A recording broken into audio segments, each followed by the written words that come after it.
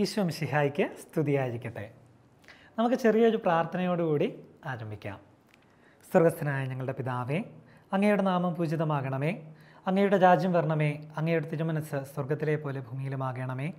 അന്നു വേണ്ടിയ ആഹാരം ഇന്ന് ഞങ്ങൾക്ക് തരണമേ. ഞങ്ങളുടെ കടക്കാരോട് ഞങ്ങൾ ക്ഷമിച്ചിരിക്കുന്നത് പോലെ ഞങ്ങളുടെ കടങ്ങളും പാപങ്ങളും ഞങ്ങളോട് ക്ഷമിക്കണമേ. ഞങ്ങളെ പ്രലോഭനത്തിൽ ഉൾപ്പെടുത്തരുതേ.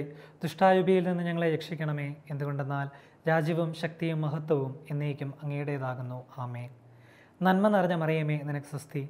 കർത്താവ് അങ്ങയുടെ കൂടെ അനുഗ്രഹിക്കപ്പെട്ടവളാവുന്നു അങ്ങയുടെ ഉദയത്തിന് ഫലമായ ഈശോ അനുഗ്രഹിക്കപ്പെട്ടവനാവുന്നു. പരിശുദ്ധ മറിയമേ തമ്പുരാന്റെ അമ്മേ പാപികളായ ഞങ്ങൾക്ക് വേണ്ടി ഇപ്പോഴും ഞങ്ങളുടെ മരണസമയത്തും തമ്പുരാനോട് അപേക്ഷിക്കണമേ. ആമേൻ. എല്ലാവർക്കും സുഖമാണെന്ന് വിചാരിക്കുന്നു. നമ്മൾ ആറാം ക്ലാസ്സിലെ രണ്ടാമത്തെ പാഠത്തിലേക്ക് കടക്കുകയാണ്. എല്ലാവരുടെ കയ്യിലും ടെക്സ്റ്റ് ബുക്കുകളൊക്കെ ഉണ്ടെന്ന് വിചാരിക്കുകയാണ്. രണ്ടാമത്തെ പാഠത്തിന്റെ പേര് നിങ്ങൾക്ക് അറിയാം. ലോകത്തിന്റെ പാപങ്ങൾ നീക്കുന്ന ദൈവത്തിന്റെ കുഞ്ഞാട്. ഇതാണ് രണ്ടാമത്തെ പാഠത്തിന്റെ പേര്. വളരെ വിചിത്രമായ ഒരു പേരാണ് ഈ പാഠത്തിന് കൊടുത്തിരിക്കുന്നത് അല്ലേ? നമുക്കറിയാം ഈ പാഠം മുഴുവനും ഈശോയെക്കുറിച്ചുള്ള ഒരു പരിചയപ്പെടുത്തലാണ്. നമ്മളെല്ലാം ജീവിതത്തിൽ പല സ്ഥലങ്ങളിലും പലരെയും പരിചയപ്പെടുത്തുന്നുണ്ട് അല്ലേ?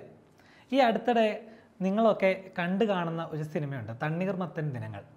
ആ സിനിമയുടെ പേര് വേണമെങ്കിൽ നമുക്ക് ചെറുതായിട്ടൊന്ന് മാറ്റാം. ഇപ്പോൾ ഓൺലൈനിലൊക്കെ ആയതുകൊണ്ട് ഓൺലൈൻ ദിനങ്ങൾ എന്നൊക്കെ പറയാം. തണ്ണീർമത്തൻ ദിനങ്ങൾ എന്ന സിനിമയിൽ ഒരു കുട്ടിയെ അവന്റെ അമ്മ സ്കൂളിൽ ചേർക്കുന്ന ഒരു സീനും ആ സമയത്ത് അമ്മ അച്ഛനോട് ഇവനെക്കുറിച്ച് പറയുന്ന ഒരു കാര്യവും വളരെയധികം ക്ലിക്കായിട്ടുള്ള ഒരു കാര്യമാണ്. അവിടെ മകനെ അമ്മ പരിചയപ്പെടുത്തുന്നത് ഇപ്രകാരമാണ്. എന്റെ അച്ഛ പഠിത്തമാണ് ഇവന്റെ ഒരു മെയിൻ അതായത് നമ്മളെല്ലാവരും ഒരാളെ പരിചയപ്പെടുത്തുമ്പോൾ അയാളുടെ പേരും അതോടൊപ്പം തന്നെ അവൻ ഇഷ്ടമുള്ള അല്ലെങ്കിൽ അവൻ ചെയ്യുന്ന കുറേയധികം കാര്യങ്ങളും മറ്റുള്ളവർക്ക് പറഞ്ഞു കൊടുക്കും. ഉദാഹരണത്തിന് നമ്മളിപ്പോൾ എത്രയോ ആൾക്കാരെ നമ്മൾ അനുദിന ജീവിതത്തിൽ പരിചയപ്പെടുന്നുണ്ട് അല്ലേ? ഇപ്പോൾ നമുക്ക് അയാളെ പരിചയപ്പെടണമെങ്കിൽ ആളുടെ പേരും പറയും. അതോടൊപ്പം തന്നെ ആൾ ചെയ്യുന്ന എന്തെങ്കിലും ഒരു കാര്യവും കൂടി അതിനോടൊപ്പം നമ്മൾ പറയും. ഇപ്പോൾ ഉദാഹരണത്തിന് നിങ്ങൾ ഇപ്പോൾ വീട്ടിൽ ചാച്ചനും അമ്മയൊക്കെ അടുത്തുണ്ടെങ്കിൽ സ്വയം ഒന്ന് പരിചയപ്പെടുത്തുകയെ എന്റെ പേര് ഇതാണ് ചാച്ച എന്റെ പ്രത്യേകത ഇതാണ് എന്ന് പറയാം. നമ്മളിങ്ങനെ ഒരു ഒരു പുതിയ കുട്ടി നിങ്ങളുടെ ക്ലാസ്സിലേക്ക് സൺഡേ സ്കൂൾ ക്ലാസ്സിലേക്ക് വരുമ്പോൾ അവനെക്കുറിച്ച് പറയും അവന്റെ പേര് ജോസഫ് എന്നാണ്. ഇവൻ ഏറ്റവും ഇഷ്ടം പാട്ട് പാടാനാണ് അല്ലെങ്കിൽ ഡാൻസ് കളിക്കാനാണ് അല്ലെങ്കിൽ അവന് വരയ്ക്കാനാണ് കൂടുതൽ കഴിവുകൾ. അങ്ങനെ നമ്മൾ എല്ലാ ജീവിതത്തിലെല്ലാ സ്ഥലത്തും നമ്മളിതുപോലെ പരിചയപ്പെടുന്നുണ്ട് ആൾക്കാരെ അല്ലേ? ഇതുപോലെ നമ്മുടെ ഈശോയുടെ ജീവിതത്തിൽ ഈശോയെ ഈ ലോകത്തിന് പരിചയപ്പെടുത്തിയ സംഭവങ്ങളാണ് ഈ ചാപ്റ്ററിൽ നമ്മൾ പ്രധാനമായിട്ടും മനസ്സിലാക്കുകയും പഠിക്കുകയും ചെയ്യുന്നത്. എല്ലാവരും റെഡിയാണോ? അങ്ങനെയാണെങ്കിൽ നമുക്ക് പതുക്കെ തുടങ്ങാം. അപ്പോൾ ഈശോയെ പരിചയപ്പെടുത്തുന്ന സംഭവം അല്ലേ? അപ്പോൾ ഈശോയെ പരിചയപ്പെടുത്തുന്ന എല്ലാ സ്ഥലങ്ങളിലും പരിചയപ്പെടുത്താൻ ഒരാളും കാണും അത് കേൾക്കാനും കുറേ ആൾക്കാരും കാണും. പിന്നെ ആരെയാണ് പരിചയപ്പെടുത്തുന്നത്? അതാണ് ഹീറോ. അപ്പോൾ നമുക്ക് ഇവിടെ തുടങ്ങാം. ആദ്യം നമുക്കൊരു വീഡിയോ കാണാം.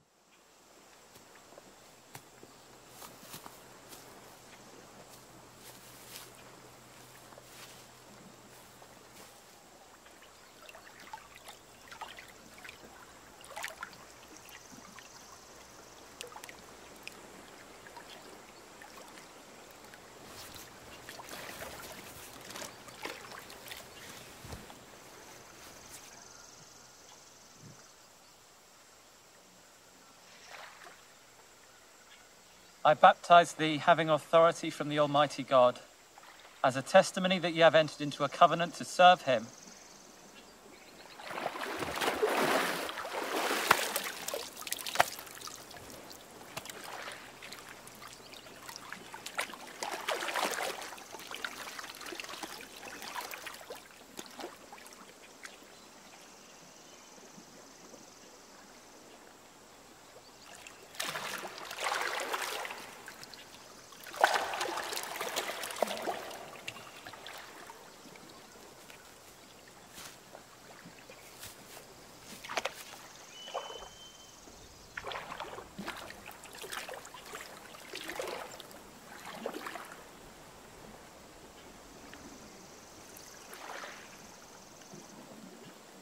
I have need to be baptized of thee. Comest thou to me? Suffer it to be so now. For thus it becometh us to fulfill all righteousness.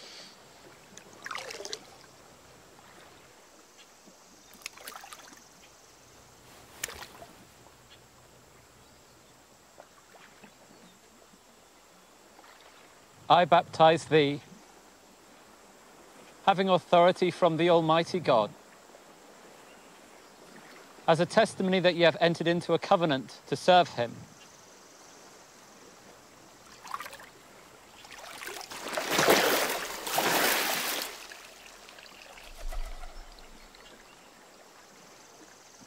This is my beloved Son, in whom I am well pleased.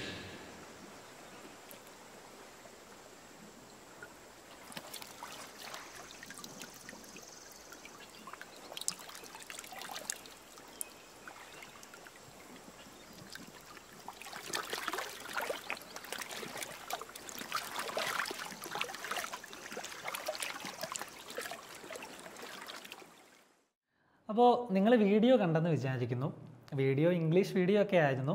പക്ഷേ എന്നാലും കണ്ട ചിത്രങ്ങളൊക്കെ വെച്ച് നിങ്ങൾക്ക് വിചിത്രമായിട്ടുള്ള ഒരു ചിത്രം ഇപ്പോൾ കിട്ടിക്കാണും നമ്മൾ എല്ലാ ദിവസവും ഇതൊക്കെ നമ്മൾ വചനത്തിൽ വായിക്കുകയും പഠിക്കുകയും ഒക്കെ ചെയ്യുന്ന കാര്യങ്ങളാണ്. അതുകൊണ്ട് ഏകദേശം നിങ്ങൾക്ക് കാര്യങ്ങൾ മനസ്സിലായി കാണും. അതെ ഈശോയുടെ മാമോദിസ. സ്നാപക യോഹനാനാണ് ഈശോയെ മാമോദിസ നൽകുന്നത് ഈശോയ്ക്ക് മാമോദിസ നൽകുന്നത്. അതുകൊണ്ട് തന്നെ ഈ സംഭവങ്ങളാണ് ഇപ്പോൾ നിങ്ങൾ വീഡിയോ രൂപത്തിൽ കണ്ടത്. ഇതിനെ കുറച്ചും കൂടി നിങ്ങളുടെ മനസ്സിലേക്ക് ആഴത്തിൽ പതിപ്പിക്കാൻ വേണ്ടി നമുക്ക് ഒരു ചെറിയ ആക്ടിവിറ്റി ചെയ്യാം. ഞാനിവിടെ കുറേയധികം വാക്യങ്ങൾ എഴുതിയിട്ടുണ്ട്. ഞാൻ വായിക്കാം. സ്വർഗം തുറക്കപ്പെട്ടു. അനേകർ വന്ന് സ്നാപക യോഹന്നാനിൽ നിന്നും മാമോദിസ സ്വീകരിച്ചു. ഈശോ വെള്ളത്തിൽ നിന്നും കയറി. ഈശോയും ആ കൂട്ടത്തിൽ വന്നു നിന്നു. പരിശുദ്ധാത്മാവ് പ്രാവിന്റെ രൂപത്തിൽ വന്നു. ഇപ്പോൾ ഇത് സമ്മതിക്കുക. ഈശോ മാമോദീസ മുങ്ങുവാനായി സ്നാപകന്റെ അടുത്തേക്ക് വന്നു. ഒരു സ്വരം സ്വർഗത്തിൽ നിന്നും കേട്ടു. ഇങ്ങനെ ഒരു എട്ട് വാക്യങ്ങൾ ഞാനിവിടെ എഴുതിയിട്ടുണ്ട്. പക്ഷേ ഇതിന്റെ ഓർഡർ കൃത്യമല്ല. ഈ കഥ ഈശോയുടെ മാമോദീസ നടന്ന സംഭവത്തിന്റെ കാര്യങ്ങളാണ് ഞാനിവിടെ എഴുതിയിരിക്കുന്നത്. ഇത് സംഭവം നടന്ന ക്രമത്തിൽ നമുക്കൊന്ന് ക്രമീകരിക്കാം. അപ്പോൾ ഇവിടെ ഞാൻ നമ്പർ ഇട്ടിട്ടുണ്ട്. സ്വർഗം തുറക്കപ്പെട്ടു എന്ന വാക്യം ഒന്നാമത്തെ നമ്പറാണ് ഇപ്പോൾ നിങ്ങളുടെ വീടുകളിൽ നിങ്ങളിരിക്കുമ്പോൾ നോട്ട്ബുക്കിൽ നിങ്ങൾ ഈ നമ്പറിന്റെ കൃത്യമായ ഓർഡർ മാത്രം എഴുതിയാൽ മതി. ഉദാഹരണം ഈശോ വെള്ളത്തിൽ നിന്നും കയറി. ഇതാണ് ഈശോയുടെ ജീവിതത്തിൽ സംഭവിച്ച സംഭവത്തിൽ ആദ്യം വന്നതെങ്കിൽ നാല് എന്ന് നിങ്ങൾക്ക് ആദ്യം കൊടുക്കാം. അതിനുശേഷം വന്നത് പരിശുദ്ധാത്മാവ് പ്രാപിന്റെ രൂപത്തിൽ വന്നു. അങ്ങനെയാണെങ്കിൽ അഞ്ച്. എങ്ങനെയാണോ നിങ്ങൾ വീഡിയോയിൽ കണ്ടത് നിങ്ങൾ മനസ്സിലാക്കിയത് ആ രീതിയിൽ ഈ വാക്യങ്ങൾ ക്രമീകരിച്ച് ഈ കഥ നിങ്ങൾക്ക് പൂർത്തിയാക്കാം.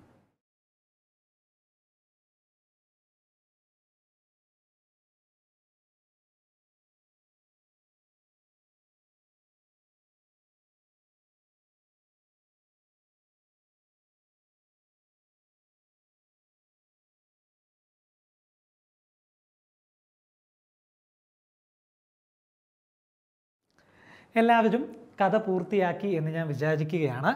അങ്ങനെയാണെങ്കിൽ നമുക്കൊന്ന് പറഞ്ഞു നോക്കാം. ഇതിലേതാണ് ആദ്യം സംഭവിച്ചതെന്ന്. അനേകർ വന്ന് സ്നാപക യോഹന്നാനിൽ നിന്നും മാമോദീസ സ്വീകരിച്ചു. അല്ലേ? ആരാണ് ഈ സ്നാപക യോഹന്നാൻ? മരുഭൂമിയിൽ ദൈവത്തിന്റെ വചനവുമായി നടന്ന വ്യക്തിത്വമാണ് സ്നാപക യോഹന്നാൻ. അദ്ദേഹത്തെക്കുറിച്ച് പല വർണനകളും നമുക്ക് ബൈബിളിൽ കാണുവാൻ സാധിക്കും. മർക്കോസിന്റെ സുവിശേഷത്തിൽ സ്നാപക യോഹനാനെക്കുറിച്ച് വളരെ വിശദമായിട്ട് പറയുന്നുണ്ട്. നിങ്ങളുടെ കൈവശമുള്ള ബൈബിളിൽ മർക്കോസിന്റെ സുവിശേഷം ഒന്നാം അധ്യായം നാലാം വാക്യത്തിലേക്ക് നമുക്ക് കടക്കാം. പാപമോചനത്തിനുള്ള അനുതാപത്തിന്റെ ജ്ഞാനസ്നാനം പ്രസംഗിച്ചുകൊണ്ട് സ്നാപക യോഹന്നാൻ മരുഭൂമിയിൽ പ്രത്യക്ഷപ്പെട്ടു. ഒരിക്കൽ കൂടി ഞാൻ വചനം വായിക്കാം. മർക്കോസിന്റെ സുവിശേഷം ഒന്നാം അധ്യായം നാലാം വാക്യം. പാപമോചനത്തിനുള്ള അനുതാപത്തിന്റെ ജ്ഞാനസ്നാനം പ്രസംഗിച്ചുകൊണ്ട് സ്നാപക യോഹനാൻ മരുഭൂമിയിൽ പ്രത്യക്ഷപ്പെട്ടു. അദ്ദേഹത്തെക്കുറിച്ച് പറയുന്നത് മരുഭൂമിയിൽ ദൈവത്തിന് വേണ്ടി സംസാരിക്കുന്ന ശബ്ദം എന്നാണ്. അപ്പോൾ ഇദ്ദേഹമാണ് സ്നാപക യോഹന്നാൻ ദൈവത്തിന് വഴിയൊരുക്കുവാൻ ദൈവം നിശ്ചയിക്കപ്പെട്ട വ്യക്തിത്വമാണ് സ്നാപക യോഹന്നാൻ അദ്ദേഹം സ്നാപനം മാമോദീസ നൽകിക്കൊണ്ടിരിക്കുന്ന വേളയിലാണ് ആദ്യത്തെ വാക്യം നമുക്ക് വരിക. അനേകർ വന്ന് സ്നാപക യോഹനാനിൽ നിന്നും മാമോദീസ സ്വീകരിച്ചു. അതിനുശേഷം രണ്ടാമത്തെ വാക്യം എന്തായിരിക്കും? സ്വർഗം തുറക്കപ്പെടുന്നു ഈശോ വെള്ളത്തിൽ നിന്നും കയറി. അതെ രണ്ടാമത്തെ സെന്റൻസ് ഇതായിരിക്കും. ഈശോയും ആ കൂട്ടത്തിൽ വന്നു നിന്നു. അപ്പോൾ അനേകം ജനങ്ങളുടെ കൂടെ ഈശോയും അവരിലൊരാളായി സ്നാപകന്റെ മാമോദിസ സ്വീകരിക്കുന്നതിനായി എത്തിച്ചേർന്നു. ഇതാണ് രണ്ടാമത്തെ വാക്യം. അതിനുശേഷം സംഭവം നടക്കുന്നത് ഈശോ മാമോദിസ മുങ്ങുവാനായി സ്നാപകന്റെ അടുത്തേക്ക് വരുന്നു. ഈശോ മാമോദിസ മുങ്ങുവാനായി സ്നാപകന്റെ നിങ്ങൾ ആ വീഡിയോയിൽ കണ്ട് കാണും. ആ സമയത്ത് സ്നാപകൻ ചോദിക്കുന്ന ഒരു കാര്യമുണ്ട്. നിന്നിൽ നിന്നാണ് ഞാൻ പോലും സ്നാപനം സ്വീകരിക്കേണ്ടത്. എന്നിട്ട് നീ ഇപ്പോൾ എന്നോട് നിനക്ക് മാമോദിസ മുക്കി തരാൻ പറയുന്നുവോ? ഈ സമയത്താണ് അദ്ദേഹം പറയുന്നത് ഇപ്പോൾ നീ ഇത് സമ്മതിക്കുക. ഇത് ഈശോ സ്നാപക യോഹനാനോട് പറയുന്ന വാക്യമാണ് ഇപ്പോൾ നീ ഇത് സമ്മതിക്കുക. അങ്ങനെ ഈശോയെ സ്നാപക യോഹനാൻ മാമോദിസ മുക്കുന്നു. ആ സമയത്ത് അതിനുശേഷം അവൻ വെള്ളത്തിൽ നിന്നും കയറി. മൂന്നാമത്തെ വാക്യം ഈശോ വെള്ളത്തിൽ നിന്നും കയറി. വെള്ളത്തിൽ നിന്നും കയറിയപ്പോൾ എന്ത് സംഭവിച്ചു? നിങ്ങൾ വീഡിയോയിൽ കണ്ടതാണ് സ്വർഗം തുറക്കപ്പെടുന്നു. സ്വർഗം തുറക്കപ്പെട്ടതിന് ശേഷം സ്വർഗം തുറക്കപ്പെടുന്നു. അതോടൊപ്പം തന്നെ സ്വർഗത്തിൽ നിന്നും ഒരു ശബ്ദമുണ്ടാകുന്നു ഇവൻ എന്റെ പ്രിയപുത്രൻ ഇവനിൽ ഞാൻ സംപ്രീതനായിരിക്കുന്നു. അതോടൊപ്പം പരിശുദ്ധാത്മാവ് പ്രാവിന്റെ രൂപത്തിൽ വന്നു നിൽക്കുന്നു.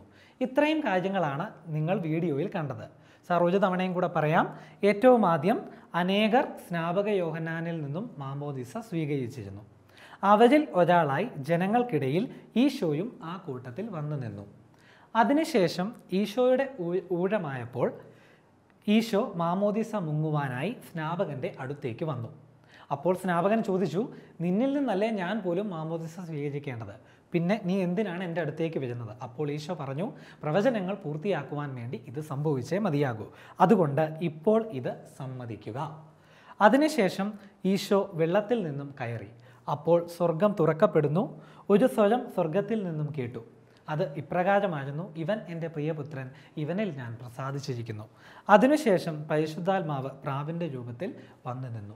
ഇത്രയും കാര്യങ്ങളാണ് നമ്മൾ വീഡിയോയിൽ കണ്ടത്. അപ്പോൾ ഇത് ഒരിക്കൽ കൂടി നിങ്ങളുടെ മനസ്സിലേക്ക് ഇതിലെ ഓരോ കാര്യങ്ങളും ഉറപ്പിക്കുന്നതിന് വേണ്ടി നമുക്ക് ഒരു ചിത്രീകരണം കൂടി ആകാം. ഈ ചിത്രങ്ങളുടെ സഹായത്തോടു കൂടിയും കൂടി നമുക്ക് കഥയൊന്ന് പറഞ്ഞു നോക്കാം. ഇത് ജോർദാൻ നദിയാണ്. ഇവിടെയാണ് സ്നാപകൻ തന്റെ മാമോദീസ ജനങ്ങൾക്ക് വേണ്ടി നൽകുവാൻ ആരംഭിക്കുന്നത്. അവിടെ നമ്മൾ പറഞ്ഞ പോലെ ഒട്ടനവധി ജനങ്ങൾ വന്നു നിൽക്കുന്നുണ്ടായിരുന്നു. അവർക്കിടയിൽ ഒരാളായി ഈശോയും വന്നു നിന്നു. ഈശോയെ കണ്ടപ്പോൾ അപ്പോൾ സ്നാപക യോഹന ഈശോയോട് ചോദിക്കുന്നു നിന്നിൽ നിന്നാണ് ഞങ്ങൾ ഏവരും മാമോദിസ സ്വീകരിക്കേണ്ടത്. നീ എന്നോട് മാമോദിസ മുക്കുവാൻ പറയുന്നുവോ? അപ്പോൾ ഈശോ പറഞ്ഞു ഇപ്പോൾ നീ ഇത് സമ്മതിക്കുക. ഈശോയെ സ്നാപക യോഹനാൻ മാമോദിസ മുക്കുന്നു. അതിനുശേഷം നമുക്കറിയാം സ്വർഗം തുറക്കപ്പെട്ടു. ഈശോ വെള്ളത്തിൽ നിന്നും കയറി അപ്പോൾ സ്വർഗം തുറക്കപ്പെട്ടു. പരിശുദ്ധാത്മാവ് പ്രാവിന്റെ രൂപത്തിൽ അവന്റെ മേൽ ഇറങ്ങി വന്നു. അതോടൊപ്പം സ്വർഗത്തിൽ നിന്നും ഒരു ശബ്ദവും കേട്ടു. ഇവൻ എന്റെ പ്രിയപുത്രൻ ഇവനിൽ ഞാൻ പ്രസാദിച്ചിരിക്കുന്നു. അപ്പോൾ ഇത്രയും കാര്യങ്ങളാണ് ലോകത്തെ തന്നെ മാറ്റിമറിച്ച ഒരു പരിചയപ്പെടലിന്റെ സംഭവങ്ങൾ. ഇത്രയും കാര്യങ്ങളാണ്. ഇവിടെ സ്നാപക യോഹന്നാൻ അതുപോലെ തന്നെ ഈ ഈശോ ഉണ്ടായിരുന്നു ഈശോയുടെ മാമോദിസ പരിശുദ്ധാത്മാവ് പ്രാവിന്റെ രൂപത്തിൽ ഇറങ്ങി വരുന്നു സ്വർഗം തുറക്കപ്പെടുന്നു. ഇവൻ എന്റെ പ്രിയപുത്രൻ ഇവനിൽ ഞാൻ പ്രസാദിച്ചിരിക്കുന്നു എന്ന് സ്വർഗത്തിൽ നിന്നും ദൈവം പറയുന്നു. അങ്ങനെ ഇങ്ങനെ പ്രാവ് ഈശോയുടെ ദേഹത്തേക്ക് ഇറങ്ങി വന്നത് കണ്ടപ്പോൾ സ്നാപക യോഹന്നാൻ ഇപ്രകാരം പറഞ്ഞു ഇതാ ലോകത്തിന്റെ പാപം നീക്കുന്ന ദൈവത്തിന്റെ കുഞ്ഞാട്. ഇങ്ങനെയാണ് നമ്മുടെ ചാപ്റ്ററിന് ഈ പേര് ലഭിക്കുന്നത്. സ്നാപക യോഹന്നാൻ ഈശോയെ ഈ ലോകത്തിന് പരിചയപ്പെടുത്തി കൊടുത്ത വാക്യം ഇതാണ്. ഇതാ ലോകത്തിന്റെ പാപങ്ങൾ നീക്കുന്ന ദൈവത്തിന്റെ കുഞ്ഞാണ് അതുപോലെ അദ്ദേഹം പറയുന്നുണ്ട് എന്റെ പിന്നാലെ വരുന്നവൻ എന്നേക്കാൾ വലിയവനാണ്. ഞാൻ പറഞ്ഞത് ഇവനെ പറ്റിയാണ്. കാരണം എനിക്ക് മുൻപ് തന്നെ ഇവൻ ഉണ്ടായിരുന്നു. ഞാനും അവനെ അറിഞ്ഞിരുന്നില്ല. എന്നാൽ ഇവനെ ഇസ്രായേലിന് വെളിപ്പെടുത്തുവാൻ വേണ്ടിയാണ് ഞാൻ വന്ന് ജലത്താൽ സ്നാനം നൽകുന്നത്. സ്നാപക യോഹന്നാന്റെ ജീവിതത്തിലെ ദൗത്യം എന്ന് പറയുന്നത് ഈശോയെ ലോകത്തിന് മുൻപിൽ പരിചയപ്പെടുത്തി കൊടുക്കുക എന്നതായിരുന്നു. ഓരോ വ്യക്തിക്കും ദൈവം ഓരോ പദ്ധതിയാണ് ഇട്ടിരിക്കുന്നത്. ജർമിയ പ്രവാചകന്റെ പുസ്തകത്തിൽ നമ്മൾ വായിക്കുന്നത് പോലെ നമ്മൾ എല്ലാവരെക്കുറിച്ചും ദൈവത്തിന് അതാത് പദ്ധതികളുണ്ട്. സ്നാപക യോഹന്നാനെക്കുറിച്ചുള്ള ദൈവത്തിന്റെ പദ്ധതി അദ്ദേഹത്തെ ഈശോ ഈശോയെ ലോകത്തിന് പരിചയപ്പെടുത്തി കൊടുക്കുക എന്നതായിരുന്നു. അത് അദ്ദേഹം നിറവേറ്റുകയും ചെയ്തു. ആത്മാവ് പ്രാവിനെ പോലെ സ്വർഗത്തിൽ ഇറങ്ങി വന്ന് അവന്റെ മേൽ ആവസിക്കുന്നത് താൻ കണ്ടു എന്നും യോഹന്നാൻ സാക്ഷ്യപ്പെടുത്തി. ആത്മാവ് പ്രാവിന്റെ രൂപത്തിൽ ഈശോയുടെ മേൽ വന്ന് ആവസിക്കുന്നത് യോഹന്നാൻ കണ്ടു എന്ന് ലോകത്തിന് മുൻപിൽ യോഹന്നാൻ വിളിച്ചു പറഞ്ഞു. ജലം കൊണ്ട് സ്നാനം നൽകാൻ എന്നെ അയച്ചവൻ എന്നോട് പറഞ്ഞിരുന്നു. ആത്മാവ് ഇറങ്ങി വന്ന ആടുമേൽ മേൽ ആവസിക്കുന്നത് നീ കാണുന്നുവോ? അവനാണ് പരിശുദ്ധാത്മാവ് കൊണ്ട് സ്നാനം നൽകുന്നത്. അപ്പോൾ ഇതും നമ്മൾ പ്രധാനപ്പെട്ട ഒരു പോയിന്റാണ് ജലത്താൽ സ്നാനം നൽകിയ വ്യക്തിയാണ് സ്നാപക യോഹന്നാൻ.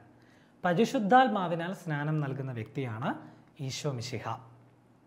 അപ്പോൾ ഇത്രയും കാര്യങ്ങളാണ് ഈശോയുടെ ഒരു പരിചയപ്പെടുത്തൽ കൊണ്ട് സംഭവിച്ചത്. സ്നാപക യോഹന്നാൻ ജലത്താൽ സ്നാനം നൽകുന്നവനാണ് ഈശോയാണ് പരിശുദ്ധാത്മാവിനാൽ സ്നാനം നൽകുന്നത്. സ്നാപക യോഹന്നാന്റെ ഈ ലോകത്തിലെ ദൗത്യം എന്തായിരുന്നു? ഈശോയെ ഈ ലോകത്തിന് വെളിപ്പെടുത്തി കൊടുക്കുക എന്നത് തന്നെ. മനുഷ്യപാപങ്ങൾക്ക് പരിഹാരമായി അവിടുന്ന് കാൽവജിയിൽ അർപ്പിക്കാനിരിക്കുന്ന ബലിയെയും അവിടുത്തെ മഹത്വപൂർണമായ ഉയർപ്പിനെയും ഈശോയുടെ ജ്ഞാനസ്നാനം സൂചിപ്പിക്കുന്നു. അപ്പോൾ നിങ്ങൾ കഴിഞ്ഞ ചാപ്റ്ററിലെ ആദത്തെയും ഹൗവായെയും ഏതൻ തോട്ടവും അവർ തെറ്റ് ചെയ്തത് കാരണം അവിടുന്ന് അവരെ പറഞ്ഞു വിടുകയും ഒക്കെ ചെയ്തതൊക്കെ നിങ്ങൾ വീഡിയോയിൽ കണ്ടു. എന്നാൽ ആ സമയം തന്നെ ഈ ദൈവം അവരോട് പറഞ്ഞിരുന്നു ഒരു രക്ഷകനെ നിങ്ങൾക്ക് ഞാൻ വാഗ്ദാനം ചെയ്തിട്ടുണ്ട്.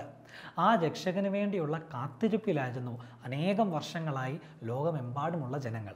സ്നാപക യോഹനാൻ ഇത് സാക്ഷ്യപ്പെടുത്തിയതോടുകൂടി വരാനിരിക്കുന്ന രക്ഷകൻ ഈശോ തന്നെയാണെന്ന് ലോകത്തിന് മനസ്സിലായി.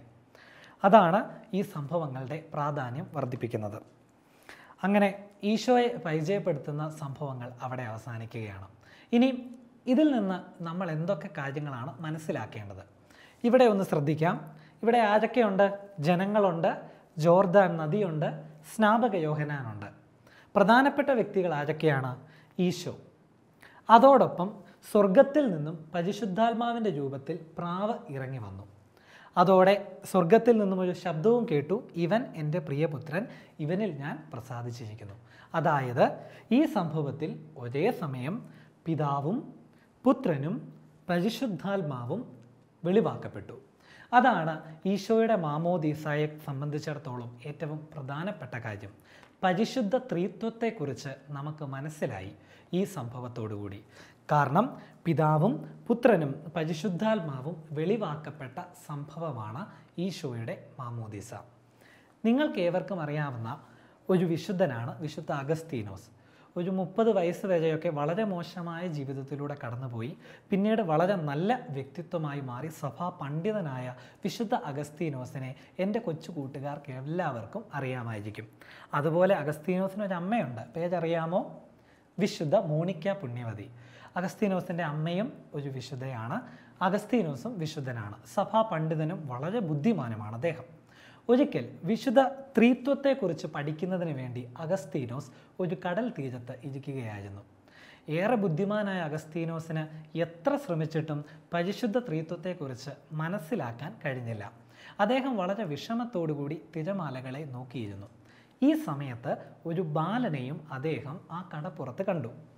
ഈ ബാലൻ ചെയ്യുന്ന കാര്യം വളരെ വിചിത്രമായി അഗസ്തീനോസിന് തോന്നി. അദ്ദേഹം ബാലന്റെ അടുത്തേക്കെത്തി. അദ്ദേഹം നോക്കിയപ്പോൾ ബാലൻ ഒരു ചെറിയ ചിരട്ടയിൽ തിരമാലകളിൽ നിന്നും വരുന്ന വെള്ളമെടുത്ത് കരയിൽ ഒരു ചെറിയ കുഴി കുഴിച്ച് ആ അങ്ങോട്ട് കൊണ്ട് ഒഴിക്കുന്നതാണ് കണ്ടത്. അപ്പോൾ അഗസ്തീനോസ് ഈ ബാലനോട് ചോദിച്ചു മകനെ നീ എന്ത് ചെയ്യുകയാണ്? അപ്പോൾ ബാലൻ പറഞ്ഞു ഞാൻ ഈ കടലിലെ വെള്ളം പറ്റിക്കാൻ ശ്രമിക്കുകയാണ്. അതായത് ഓരോ തവണയും ഞാൻ ചിരട്ടയിൽ നിന്നും വെള്ളം ഈ കുഴിയിലേക്ക് കൊണ്ടിടുമ്പോൾ വെള്ളം കുറയുകയല്ലേ? അങ്ങനെ അങ്ങനെ ഈ കടലിലെ വെള്ളം ഞാൻ പറ്റിക്കാൻ ശ്രമിക്കുകയാണ്. അഗസ്തീനോസ് ചോദിച്ചു നീ എന്തൊരു മണ്ടത്തരമാണ് ഈ പറയുന്നത്? ആഴമറിയാത്ത അക്കരെ എവിടെയെന്നറിയാത്ത ഈ കടലിനെ നീ ഈ ചെറിയ കുഴി കൊണ്ട് പറ്റിക്കാൻ നോക്കുന്നു?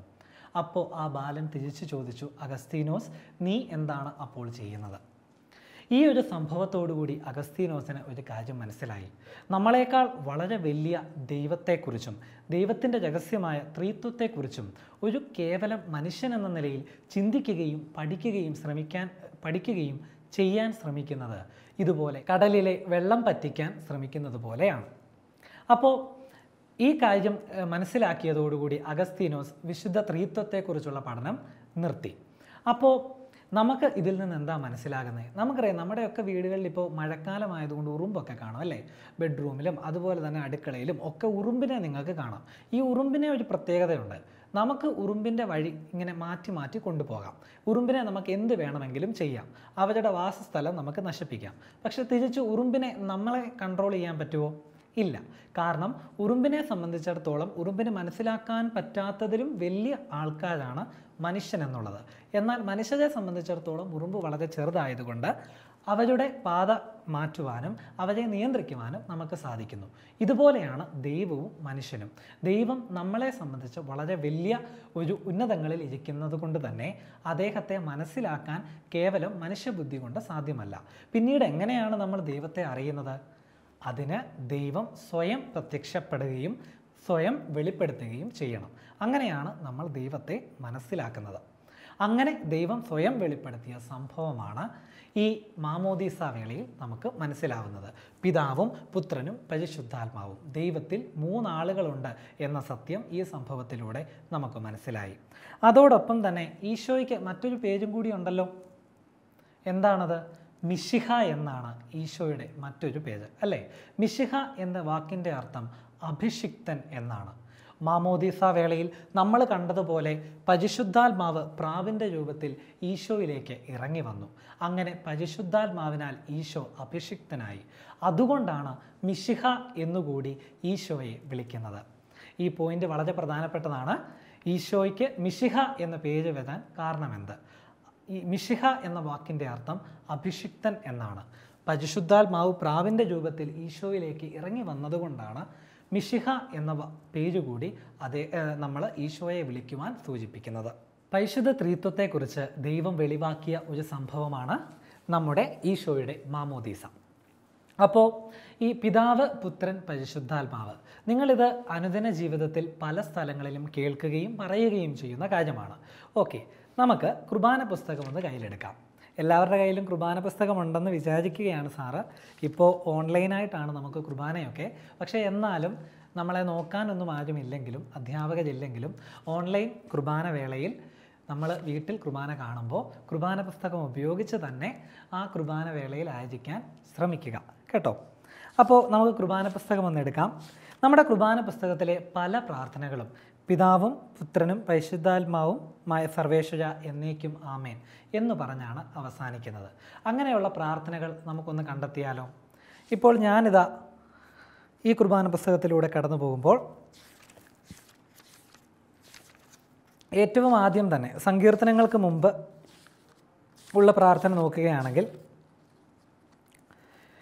നമുക്കറിയാം. കർത്താവേ മമ രാജാവേ എന്ന് പറയുന്ന സങ്കീർത്തനങ്ങൾ അത് ഓരോ കാലത്തിനും അനുസരിച്ച് ചിലപ്പോൾ മാറ്റമുണ്ടാകും. എന്നാലും ഈ സങ്കീർത്തനങ്ങൾക്ക് തൊട്ട് മുൻപുള്ള ഒരു പ്രാർത്ഥന നോക്കാം. പിതാവും ഞങ്ങളുടെ കർത്താവായ ദൈവമേ അങ്ങയുടെ മഹനീയ ത്രീത്വത്തിന്റെ സംപൂജ്യമായ നാമത്തിനും സ്വർഗത്തിലും ഭൂമിയിലും എപ്പോഴും സ്തുതിയും ബഹുമാനവും കൃതജ്ഞതയും ആരാധനയും ഉണ്ടായിരിക്കട്ടെ.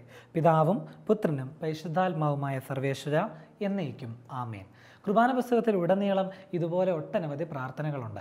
നിങ്ങളുടെ ഇന്നത്തെ ഒരു ആക്ടിവിറ്റി എന്ന നിലയിൽ കുർബാന പുസ്തകത്തിൽ ഇപ്രകാരം പിതാവിനും പുത്രനും പരിശുദ്ധാത്മാവിനും സ്തുതി എന്ന് പറഞ്ഞ് അവസാനിക്കുന്ന പ്രാർത്ഥനകൾ ഒന്ന് കണ്ടെത്താൻ ശ്രമിക്കാം. ചാച്ചന്റെയും അമ്മയുടെയും ഒക്കെ സഹായം നിങ്ങൾക്ക് ഇതിൽ ചോദിക്കാം. കേട്ടോ? അങ്ങനെ കുർബാന പുസ്തകത്തിൽ മാത്രമാണോ പിതാവും പുത്രനും പരിശുദ്ധാത്മാവും എന്ന് പറഞ്ഞ് പ്രാർത്ഥന അവസാനിക്കുന്നത്? അല്ല. നമ്മളെ ഏറ്റവും അവസാനം അച്ഛൻ ആശീർവദിക്കുന്നത് ശ്രദ്ധിച്ചിട്ടുണ്ടോ?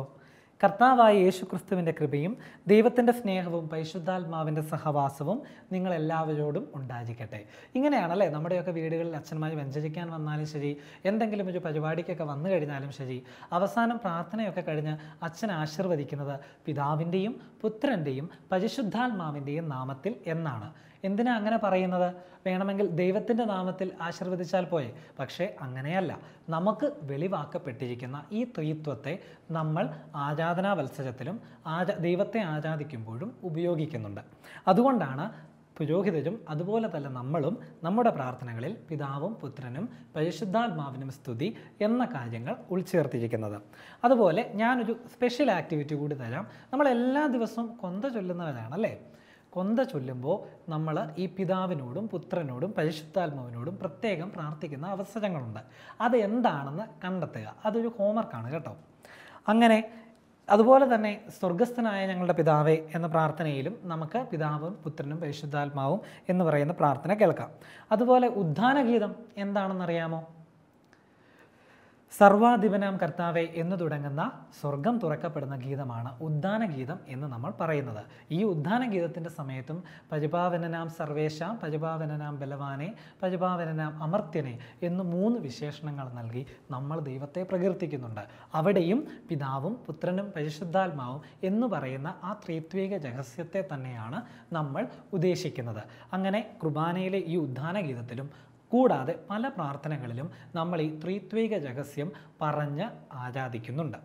ഇതിനൊക്കെ കാരണമായത് ഈശോയുടെ മാമോദീസ വേളയാണ്. ഈശോയുടെ മാമോദീസ വേളയിൽ ദൈവം സ്വയം വെളിപ്പെടുത്തിയത് കൊണ്ടാണ് നമുക്ക് നമ്മുടെ ദൈവത്തെ ഇപ്രകാരം ആരാധിക്കാൻ സാധിക്കുന്നത്. അപ്പം നമ്മൾ ഇന്ന് പഠിച്ച കാര്യങ്ങളെല്ലാം സാർ ഒരിക്കൽ കൂടി പറയുകയാണ്. നിങ്ങളുടെ മനസ്സിൽ ഇതെല്ലാം ഉണ്ടെന്ന് വിശ്വസിക്കുന്നു. ഒന്നാമത്തെ കാര്യം നമ്മൾ പറഞ്ഞതുപോലെ ഈശോയുടെ പരിചയപ്പെടുത്തലാണ് നമ്മൾ ഈ ചാപ്റ്ററിൽ ഉടനീളം പഠിക്കുന്നത്. ഈശോയെ ആരാണ് പരിചയപ്പെടുത്തിയത് ഈ ലോകത്തിന്? സ്നാപക യോഹന്നാനാണ് ഈശോയെ ഈ ലോകത്തിന് പരിചയപ്പെടുത്തിയത്. എന്നിട്ട് അദ്ദേഹം പറയുന്ന വാക്യം എന്താണ്? ഇതാ ലോകത്തിന്റെ പാപങ്ങൾ നീക്കുന്ന ദൈവത്തിന്റെ കുഞ്ഞാട്. അതുപോലെ ഈ മാമോദീസ വേളയിൽ ഏത് നദിയുടെ കരയിൽ വെച്ചാണ് മാമോദീസ നടന്നത്? ജോർദാൻ നദിയുടെ കരയിൽ വെച്ചാണ് മാമോദീസ നടന്നത്. അതോടൊപ്പം തന്നെ നമുക്ക് മനസ്സിലായ ഒരു കാര്യമാണ് ത്രീത്വിക രഹസ്യത്തെക്കുറിച്ചുള്ള വെളിപ്പെടുത്തൽ. പിതാവും പുത്രനും പരിശുദ്ധാത്മാവും ഈശോയുടെ മാമോദീസ വേളയിൽ പ്രത്യക്ഷപ്പെട്ടു. അതുകൊണ്ടാണ് ദൈവത്തിന്റെ ഈ ത്രിത്വിക രഹസ്യം നമുക്ക് മനസ്സിലായത്. അതുകൊണ്ട് തന്നെയാണ് കുർബാന പുസ്തകത്തിലും നമ്മുടെ അനുദിന പ്രാർത്ഥനകളിലും ഈ ത്രിത്വിക രഹസ്യം പറഞ്ഞ് ചൊല്ലി നമ്മൾ ദൈവത്തെ ആരാധിക്കുന്നതും. ഇത്രയും കാര്യങ്ങളാണ് ഇന്നത്തെ ദിവസം സാർ നിങ്ങളോട് പങ്കുവച്ചത് എല്ലാവർക്കും നല്ലൊരു ദിവസം ആശംസിക്കുന്നു. നമുക്ക് പ്രാർത്ഥനയോടുകൂടി അവസാനിപ്പിക്കാം. നന്മ നിറഞ്ഞ മറിയമേ നിനക്ക് സ്വസ്തി. കർത്താവ് അങ്ങയുടെ കൂടെ സ്ത്രീ അനുഗ്രഹിക്കപ്പെട്ടവളാവുന്നു. അങ്ങയുടെ ഉദയത്തിന് ഫലമായി ഈശോ അനുഗ്രഹിക്കപ്പെട്ടവനാവുന്നു. പരിശുദ്ധ മറിയമേ തമ്പുരാന്റെ അമ്മ പാപികളായ ഞങ്ങൾക്ക് വേണ്ടി ഇപ്പോഴും ഞങ്ങളുടെ മരണസമയത്തും തമ്പുരാനോട് അപേക്ഷിക്കണമേ. പിതാവിനും പുത്രനും പരിശുദ്ധാത്മാവിനും സ്തുതി. ആദിയിലെ പോലെ ഇപ്പോഴും എപ്പോഴും എന്നേക്കും ആമേ ഈശോ മിഷിഹായിക്ക് സ്തുതിയായിരിക്കട്ടെ.